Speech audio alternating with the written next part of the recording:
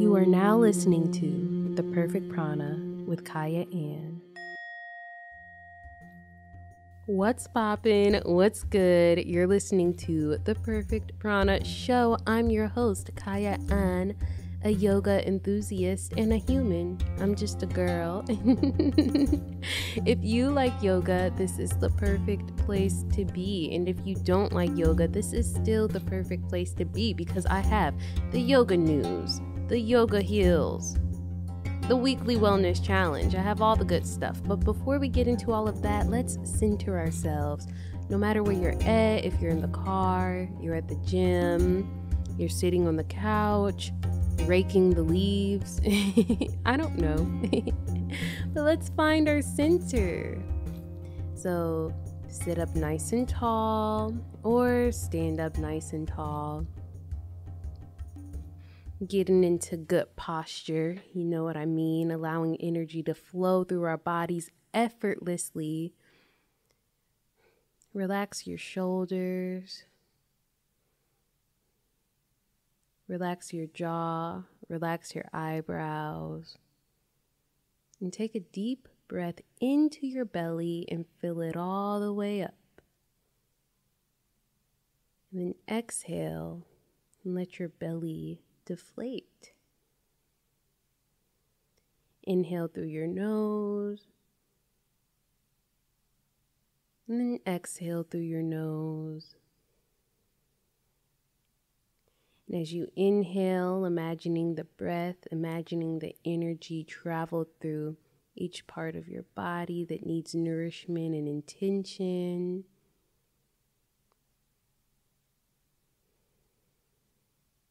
I am centered. Now let's get into the show. Yoga news. This week's yoga news. I did not feel like talking about what was coming up on the yoga headlines because you know that it's negative news. You know that people are out here doing crazy things under the name of yoga. And I'm not here to talk about that. But what I am here to talk about today, the day that I am recording, which is Friday, mind you, the show is due honestly this evening. we'll get it done though. But the day that I'm recording, December 8th, is Bodhi Day. And Bodhi Day is basically a day where Buddhists celebrate the Buddha.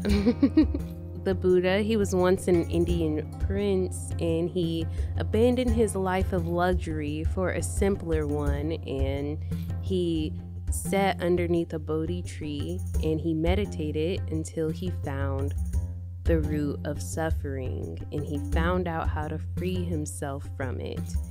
I respect most, if not all, ancient cultures and religions, traditions, because there's truth in it.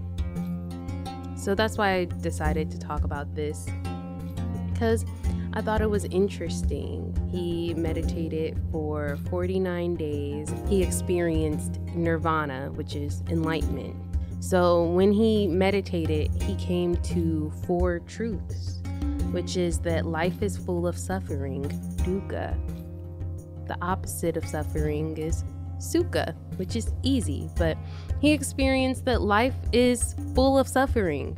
Inevitably, like we're gonna suffer. You suffer the day that you are born. You know how you know how hard being born is?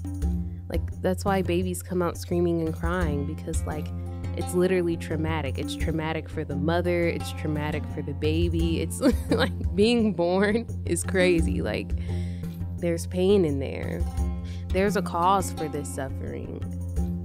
And it is possible to stop suffering, and there's a way to get rid of suffering. He also had an eightfold path to liberation, which to me was really similar to the eight limbs of yoga. and that's why I wanted to talk about this. And it's something for me to review in my life. The eightfold path to liberation is basically like the ethical principles for Buddhism. It's just a way of life there's just so many parallels between cultures. it's like crazy that Buddha had eight steps to enlightenment and then yoga has eight limbs as well. So basically, the eight limbs of yoga was written by Sage Patanjali, and I'm not gonna go into too much history about that. There was like life pre YTT and then life post YTT yoga teacher training.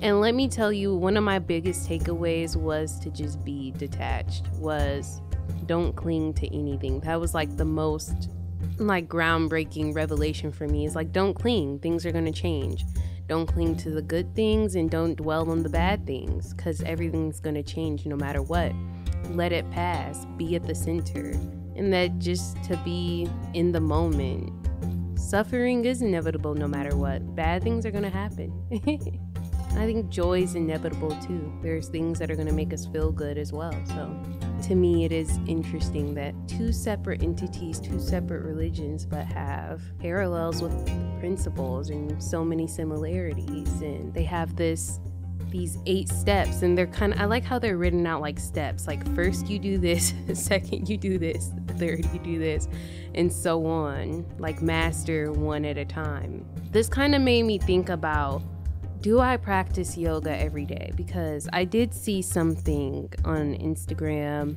where, and I see people talk about this a lot, like asana does not equal yoga. And I completely agree with that and I understand that. But then it made me think like, do I even practice yoga every single day? I practice some type of movement every day or some type of posture every day but do I really practice yoga every day? And last week when I was talking about, I'm like, mm, I don't know, I feel a little off. Like I haven't been doing what I'm supposed to be doing, or I'm not really on the path that I'm supposed to be on, or I don't know. If ever I get that feeling, then I do have to kind of review my life and ask myself, have I been being present? Or have I been escaping? Have I been trying to do everything else but be with myself? Have I been staring at my phone like a zombie for hours at a time? And have I been, has my stuff been a mess and I'm looking around and it's chaotic and my mind is chaotic or have i been neglecting my meditation or some like you know because sometimes it is hard to concentrate and it's easy to overindulge in things and it's something for me to do personally like really look in and review my life. Like have i been practicing yoga? Maybe i've been practicing aspects of it on some days. I'm not to sit here and lie and say i've been fully living like this I've been fully enlightened. Like, no.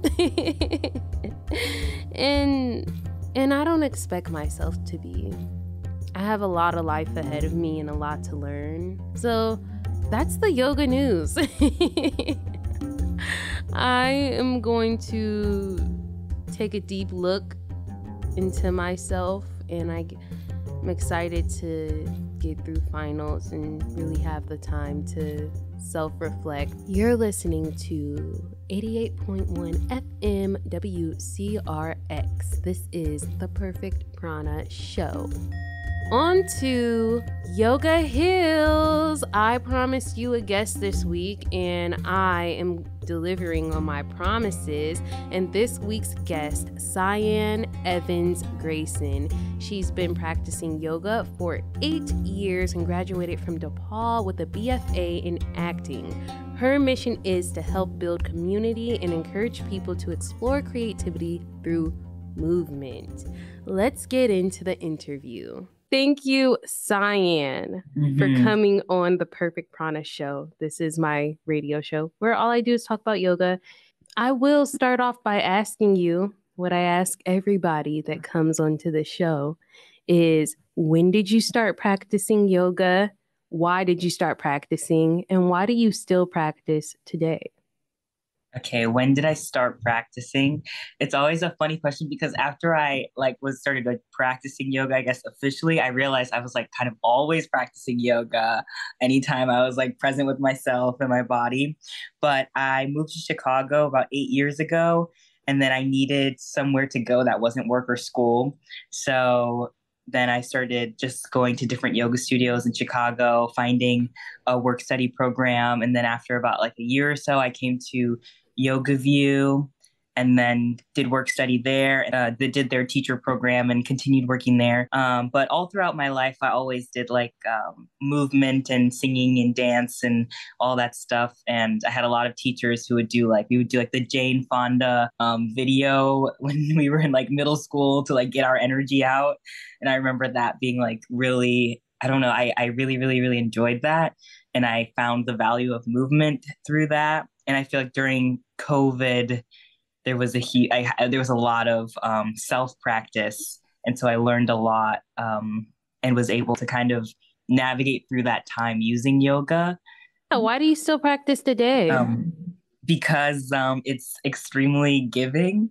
I feel like it is just the more I practice, the more I gain in self knowledge and joy and connection to other people and connection to myself and it's something that I know will be with me throughout all stages of life, whether things happen where I'm grieving or I'm injured or when like amazing things are happening and I'm on vacation and like I'm feeling really good about life, I can always count on yoga to kind of like bring me back to the the middle. We're going to do something kind of fun. Okay. One, two, three. Unpopular opinion about yoga. Un- unpopular. Oh wait, unpopular opinion that I have. Yes. I mean, this is hard because I do love music. I love both, but I would say music isn't a- absolutely necessary. I mean, abs- actually, nothing is really necessary. You really don't need anything to practice yoga. I feel like even I'm, you know, working on this with myself, but like less is more, less is more, less is more. I feel like so many places keep like adding things and we're we're adding more things that don't really need to be added and just have to always just like get back get back to the basics. And I feel like we're getting uh, there's a lot of there's just a lot of um, distractions. Yeah, I would just say you don't need a lot to practice yoga. You only need you.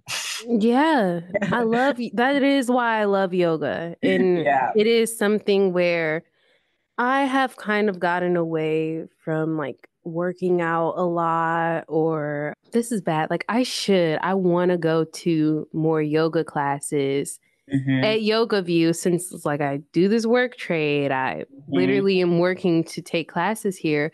Yeah. But the reason I don't is because I mean, life is a little bit busier now that it's not Mhm. summertime for me. And then also, it's like I have a yoga mat in my living space and a nice wall, and I have my body, and I just walk onto my mat all comfortably alone and just do Mhm. what I'm doing. Mhm. Nobody there, no judgment. whatever clothes you woke up in. No commute, Yeah. nothing, nothing extra added. And uh, and in the winter, I think that is the best practice, actually, a lot of the times. I mean, it's nice to get out, you know, to see people, but in the winter, sometimes those cozy home practices are what the doctor ordered. that's been the struggle, but that's my Mhm. goal for December. Is I, I wrote down three goals for December in there. This is also something I was going to ask you. I'm loving that it's Okay. all coming up now. Yes. Yes, I wrote down three goals for December, which was a three day fast, hmm three yoga classes before I leave Chicago in December, and then to Mm. finish my book that I started. Since it Mm. is like the last month of 2023, so it's like kind of like, you know, do whatever you can now. Kind of like, what do you be intentional about this month? Like, what are we going to Mhm. finish this month? Like, what's something I've been meaning to do or wanting to do? Or like, I'm really going to try to push myself to do those like little small things this month. So that's what Mhm. I wanted to ask you. Or what do you have three goals since we're in the last month of December? It's still the Yes. beginning, so it's not too late to make. but it's gonna go by fast. It is. so I have been like in like single for like two years now, and I'm I'm finding myself getting like a little irritated, and I'm seeing this as like I'm I'm really working on not seeing this as like a like pause in my life before I before I have a partnership or something, and seeing it as this is this is life. This is happening. This is this is part of my journey. And so i've been really practicing taking like really really good intentional care of myself. And so the three things that i kind of i'm like okay these are the three things i need to do every day. I mean i have my like regular morning routine. And then reading has been a big one trying to read more and reading at least 10 minutes a day. I i do already do this but continuing to write three pages a day. And then the third thing, I did write it down. Where is it? Oh yeah. And then oh, sitting a sitting practice because uh, moving is great. I love moving. I can do that every day, all the time, all day, every day. But sitting still for 20 to 30 minutes is like the biggest, the hardest thing to do in the entire world. So that's what I've been working on. And I'm blessed enough to kind of have the time to really explore what self care is looking like for me, especially in the winter where it feels like you gotta up your self care game and uh, doing things that make me feel warm. um, so those are my three goals. The, the sitting practice is hard. Mm-hmm. And honestly, after my teacher training, I'm maybe for like a week or so after I was kind of keeping up with it, I was doing like 15 minutes, but then 15 turned to nothing. Mm-hmm. Yeah, and then exactly. I, and then now every once in a while I'll get back into it and I'll be like at least five minutes. And then when mm-hmm. you said 20, 30 minutes, I was thinking, I don't even have 20, 30 minutes to sit I know, but, but then I'm like, that's a lie though. It's a lie. Let me tell you why that's a lie. Because I spend so much time looking yeah. at this for hours, just sitting there, stuck, scrolling. Like I cannot get. But one off. thing, one thing that has been really helpful for me in this book that I was reading just talked about it yesterday, and I was like, okay, thank you for reminding me of this because we know this, but sometimes you need the reminder that we are very addicted to our phones, but because there are thousands of people on the other side of those phones making sure that we are addicted. So it's like it's it's it's a battle, but also you have to remember that like it's not solely on us but it is but it's not because it's our it's our brains but there are people who are like literally trying to make sure that we are addicted and they are succeeding. We have power we have free will we can pry ourselves away if not just for an hour a day. Very very correct and i'm speaking though. to myself. You're speaking to me. Yeah. They're geniuses like they're I'm just a human. but I guess it's really kind of going within myself to like rise above my humanness. Yeah. Be like we are smarter. We are smarter than the phone. yeah, like rise above my animal instinct or whatever. Yeah. Just, you know, yeah. like look, this is like kind of getting into my higher self. Living in this world, no matter what you're doing or like what movement or plan or hobby, like you have to have a wellness regimen. You have mm-hmm. to have, you can't exist in this world, at mm-hmm. least in America, in mm-hmm. this culture, without having some type of plan or regimen or standard yeah. for yourself because there's a lot that's thrown at us and like it's not there's health is not embedded into the culture. So if you're like and like the whole point of everything is so that we don't have to think and we don't have to try or do we just order our food we don't have to get up we don't have to like we don't have to do any critical thinking to get our the things that we need and so so that we don't try we don't try to thrive we just survive because everything's already there for us. So yeah, wellness routine. Yeah. yeah. In other cultures, they might have foods that are like generally healthier and dances and movements. they do. They have yeah. dancements and movements and prayers already embedded into their yeah. culture that they don't have to think about their wellness. It's just mm-hmm. a given that they're healthy and well. Like what? Like we are constantly fighting with yeah trying to pass a Starbucks or McDonald's without like it's it's like the complete opposite. Yeah, so I'm like, Mhm. I, I do give empathy to everybody for that because I know, like, you literally have to fight for your health in this You have world. to fight for your health. You- Like, You you have to be a warrior, like a health warrior. I'll do whatever I whatever I want, or I just won't Mhm. care anymore. And I've gone through that phase in my life, and where I did nothing, and I just ate that huge bag of hot Cheetos, Mhm. and I just went smoked a bunch of weed. I did this and Mhm. and none of it. Like went crazy with it, Yeah. and it just it's not helpful and conducive not to helpful. anything. It's not helpful to us. It's not helpful to anyone who is around us in our radius, anyone who we love. So the last thing that I wanted to ask you, since again it's the last month of 2023 and next year is 2024, and you know I say 2023 brought so much progress. 2024 will bring more. That's my Mhm. like campaign. yes, So I love it. I know like everybody's like ah, New Year's resolutions are stupid, but I know, right? what's your New Year's resolution? okay, my New Year's resolution would be to, in general, throughout 2024, working on sharing myself and my ideas more, not judging my creative impulses. We're like we're entering uncharted territory in the world for like, okay, we want we don't want to continue on the way we have, but that means we have to continue on a way that we've never seen before. And I feel like that's going to take a lot of creativity and a lot of sh- sharing your your authentic uh, all of us our authentic lights and our authentic ideas.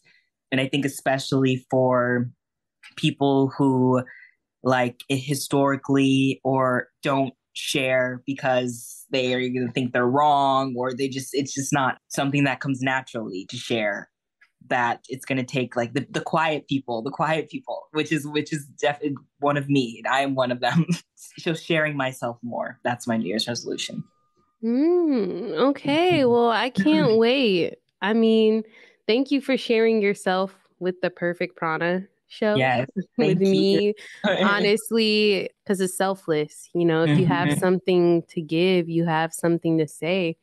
Don't just hold it in. Like, Yeah. share. Like, that might be life changing for somebody. You never know. Mhm. might be life changing for you. So, yes, yes, yes. And then the last thing I wanted to ask you before I hang up where can we find you at on the internet? my instagram is just my first and last name cian evans grayson all in one cl- chunk i teach at coconut yoga so uh, the coconut yoga website yeah And with that being said, before we close out, as a yoga teacher, can you lead us through some pranayama? Just like a quick breath, one to two, your choice. Okay. my favorite way to end class, which I learned this from my movement teacher at DePaul, uh, Christina Flutie. Uh, this is how she would end some of her classes. And so we'll take three breaths together. The first breath will be for ourselves. The second breath will be dedicated to uh, everyone we shared space with this afternoon. And then the third breath will be sent out to everyone into the world, seen and unseen. So we'll first exhale all our air out and then take a big inhale. And first, just a cleansing breath, exhale through the mouth. And then we'll take the first breath for ourselves. Inhale. Pause at the top. And exhale. And second breath for everyone we shared space with this afternoon. Inhale. And exhale. And third breath for everyone in the world, seen and unseen. Inhale. And exhale.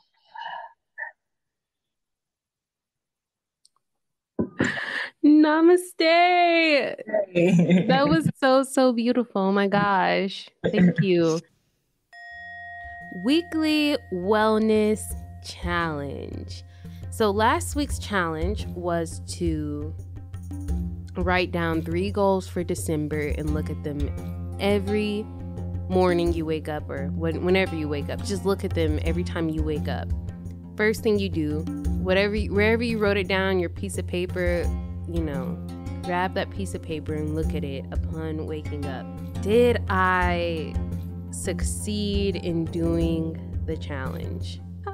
Do I ever at this point? The challenges are so challenging. The next step is is just to achieving the goals, but my goal is just to keep these goals at the forefront of my mind. Make sure that I'm thinking about them when I start my day, just so that my actions, you know, hold myself accountable for my actions throughout the day. Like, was that conducive with these goals that I've set for myself? Or, you know, how am I going to start achieving these goals? Achieving goals is important. It's it's a confidence booster.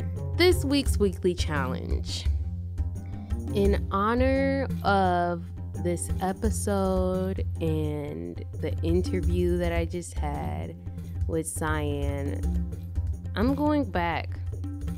Honestly, I'm going back to where we started. The show this this season is about to end soon and there will be a second season of the Perfect Prana show when I come back to school in January. So this is probably my second to last episode. So we're kind of going back to our roots. We're recycling a challenge, which is meditation. And I remember one episode, it could have been the first or the second. I can't remember which episode. We're on the 13th at this point.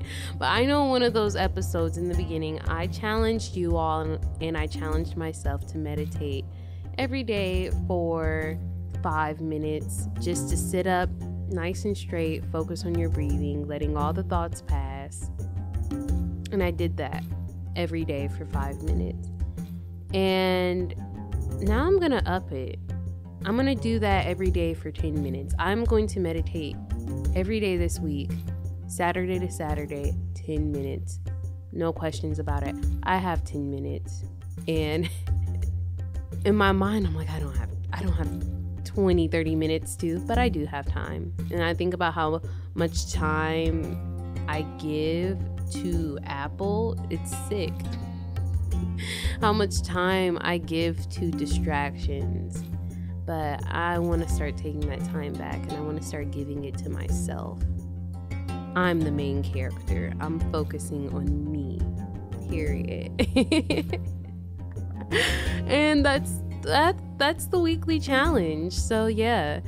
Thank you guys so much for tuning in to the Perfect Prana Show. You're listening to WCRX 88.1 FM, where the Perfect Prana Show airs Saturdays at 10 a.m. and Sundays at 9 a.m. Or you may also be listening on Apple or Spotify. So, you know, there's options, people.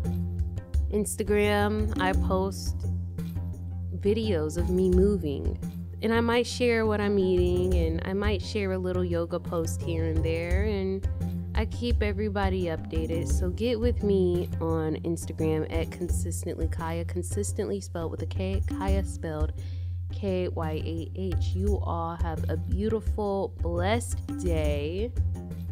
It's just vibes. Before I go, I'm going to close out with a quote in honor of Bodhi Day. I will use Buddha's most famous quote. And something that changed my life and changed how I operated and really switched some things up for me was the root of suffering is attachment. Because no matter what happens, is that we have to be okay. You don't have that many options in life. Something happens, and that's just being attached to the good things and the bad things and just being like if the good thing is taken away then that's the end of our life and then if something bad happens then that's the end of our life but like no that's not the case things just happen and that's just life and keep living it's precious it's a gift to live with that being said May the light and darkness within me bow to the light and darkness within you. Namaste.